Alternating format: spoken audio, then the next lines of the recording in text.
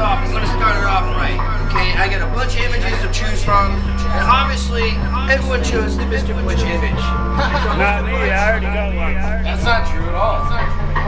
How many, how many shirts did Mr. Butch box? One, six. Mr. Butch's How many Butches are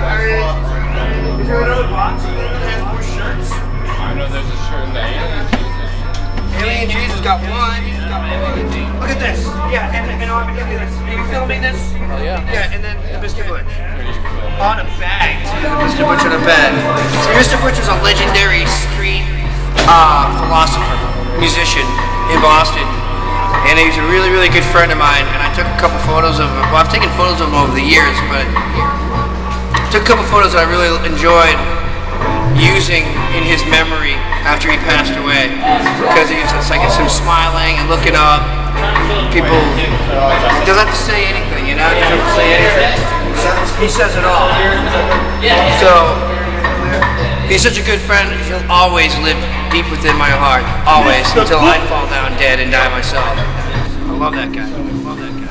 Oh, when you get super drunk on the liquor, then you